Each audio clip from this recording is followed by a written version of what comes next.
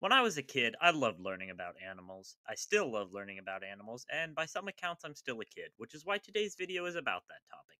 But instead of talking about how interesting this particular eel is, per se, I'm going to explain the general tree of life. Now, the tree of life is a name for the diagram that includes every organism and how they're connected, including regular trees. How meta.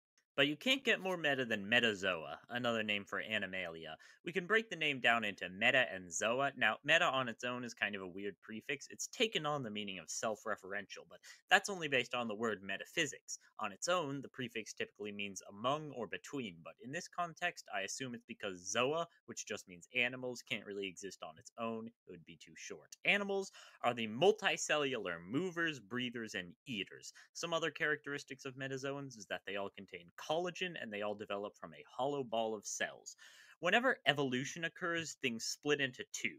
One group is the basal group, which stays the same, and the other is the derived group, which changes something. Generally speaking, a basal organism resembles the common ancestor, and a derived organism doesn't. Back this far in the tree of life, we don't have the information for that sort of specifics, but what we do know is that the tree splits into porifera and eumetazoa. Eumetazoa is a lot easier to explain. The true metazoans are called that because they're the good, normal, and cool ones. Even though the other group technically fits the definition of animal, porifera means pore bearers because these are the sponges. Sponges don't have tissues, or in other words, all of their cells are the same without specialization, and they can't move as adults. By the way, we don't use the word characteristics, we use synapomorphies, which is just a more specific word for this thing. Eumetazoans, on the other hand, have even more cell specialization. Specifically, they're what's called diploblastic, meaning double developmental cell. This means they have two germ layers, the endoderm and the exoderm. The two layers each specialize into their own specific tissues. Eumetazoa is tricky. The conventional story is that it divides into parahoxozoa, parahox animals, and ctenophora, or comb bearers although we're not actually sure which branched off first, the sponges or ctenophores. This is just the most prevalent theory. Ctenophores are notable because they have colloblasts, or sticky cells, and parahoxozoa have a parahox and hox gene. These genes will be important as they extend into further lineages. They essentially work as middle managers, telling all the other genes how to work and where to go. Next up, Parahoxozoa divides up into Bilateria and Cnidaria, two sides and stinging nettle. Now is probably a good time to talk about Placozoa. Placozoans are painfully simple. Like the sponges, they have no tissue and reproduce asexually, but they're really just blobs of cells. Now, we know Parahoxozoa divides up into these three, but it can only divide up into two at once, so we know two of these have to be more closely related than the third. For the longest time, those two were the jellyfish and placozoans. They even came up with a name for them, the planulozoa, or blobby animals, but now we're not so sure. It's more likely that it's the jellyfish and humans together, while the placozoans are separate. Some even think the placozoans and humans are together. But the most accepted layout is this, meaning planulozoa is now synonymous with parahoxozoa. The bilaterians are symmetrical at some point in their life, and the cnidarians have this cool thing that launches out of their body and stabs into things. A lot of cnidarians are what's called colonial animals, which means that they're actually just a bunch of tiny animals all working together. Now, I know what you're thinking. What exactly is the difference between a cell in a multicellular organism and a member of a colonial organism? Well, the idea is that colonials can survive apart from their colony. Another important deal with bilaterians is that they now have three germ layers the ectoderm, endoderm, and mesoderm. But what if there was a hole in the middle? What? Like an empty space. What, in between the mesoderm and the endoderm? No, between the mesoderm and itself. This is called a coelom, and it was the derivation from bilateria. The basal group is therefore called acoelomorph, although it actually includes a couple of random animals that don't even have an endoderm. The other group is nephrozoa, kidney animals, so called that because they also have nephrons, which are these tiny little things that make up your kidneys. They filter the water in your body, and the third of their synapomorphies is the gastrointestinal tract.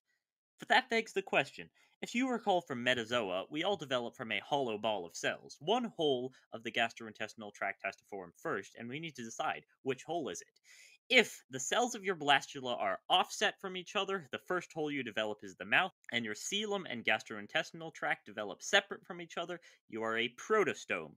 If your blastula is packed inefficiently, your anus is what forms first, and your coelom and gastrointestinal tract develop together and then later separate, you're a deuterostome. You can remember this because they're helpfully named mouth first and mouth second.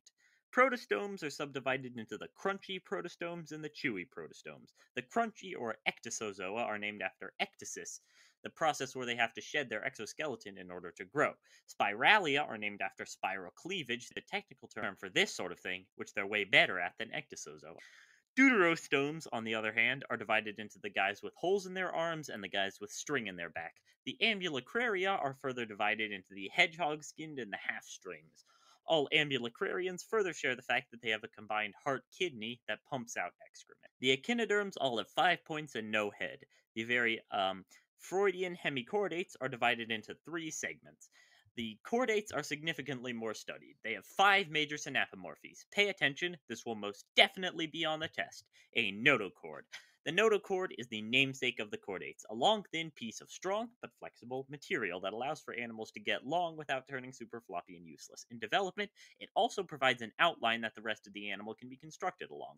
A dorsal hollow nerve cord. Let's break it down. It's on your back, it's got a hole in the middle, it's made of nerves, and it's a cord.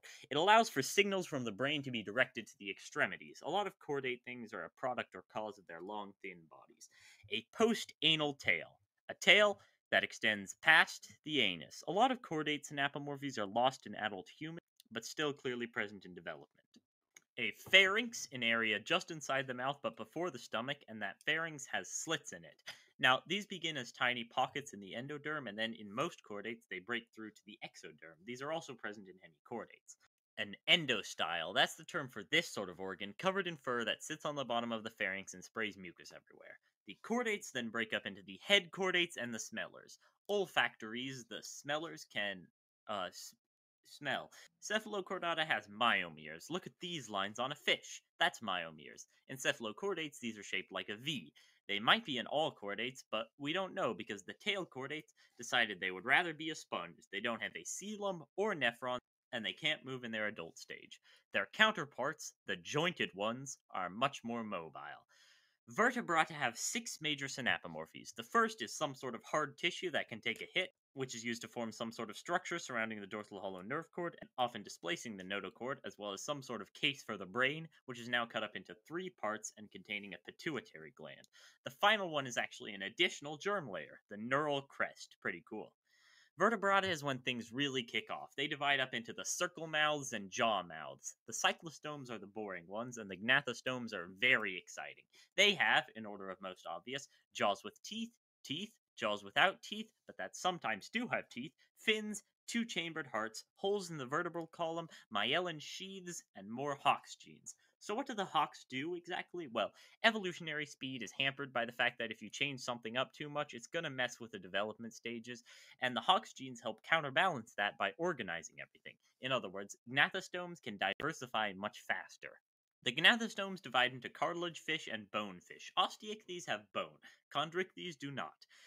They also possess an operculum, which is a bony plate type thing that goes over the gills, and a swim bladder, which is a thing full of gas that lets them float. Chondrichthyes divide into whole head and metal plate gills.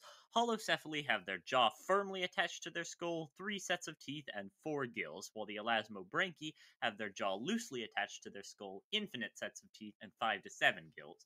Osteichthyes divides into spiny fins and fleshy fins. Actinopterygii are the most diverse clade of vertebrates containing the major group known as teleost fish. The two are separated by whether the muscles controlling the fins actually extend down into the fins, hence the names. Breaking off from Actinopterygii, we have, in order, the sail branches who can breathe air but don't like to, the cartilage bones whose intestines are tied up in a knot, and the whole bones who have a really weird looking skull, finally ending in the complete bones who have a tail that's symmetrical. Sarcopterygii divides into spiny sails and small bellows sails. Don't be fooled by the symmetry of the names. There are two species in this group. Actinistia have a tail that's symmetrical, but in a stupid way, and Rhipidistia has lungs and enamel in the teeth. It also breaks up into double breathers and four legs. Um, I, I think you can tell the difference between these two just by looking at them. Tetrapoda divides into the smooth double lives and the bowl to collect the sacrificial blood. That is actually the etymology of amnion. The differences are marked between the two. Lissamphibians breathe through their skin and have no holes in their skull. Amniotes have a special egg with a shell, have a hole on either side of their skull, and have a three chambered heart. Amniota splits into the lizard faces and the together circles. Sauropsids have an extra pair of holes in their skull under the previous, as well as a bump on the bottom of the jaw. They divide into actually it's controversial what they divide into, but I'll just give you what I was taught, that being the guys that are shaped like the best lizards and the guys that are shaped like the scaly lizards, and then the archosauromorphs divide into turtles and the best lizards. The turtles are so unlike every other reptile, they could really be anywhere though. Anyway, archosauromorphs have legs that go like this, and the lepidosauromorphs have legs that go like this.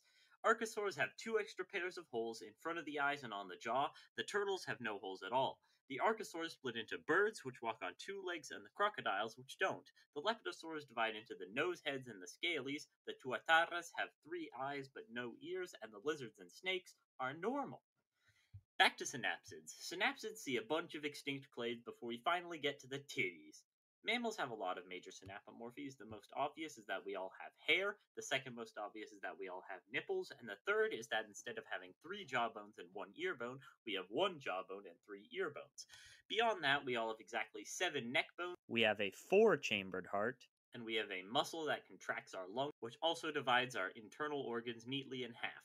And finally, the most disgusting synapomorphy is that we all have fleshy lips and pharynxes that are designed to suck all of these in coordination with breasts. Now, mammals divide into the beasts and the old beasts. The prototherians lay eggs and have one hole, hence the name, and the therians divide into the middle beasts and the good beasts. Metatherians shoot out the kid while it's still half baked. Eutherians do not, and they have a placenta which allows the kid to communicate with the mom while in utero. And that's it. That's pretty much all you need to know about cladistics. Well, that's not everything. I was lying when I said that lips were the grossest thing. There is one more. The Metatherians have what's called a lateral vagina, meaning that the females have three vaginas, two for insemination and one for childbirth.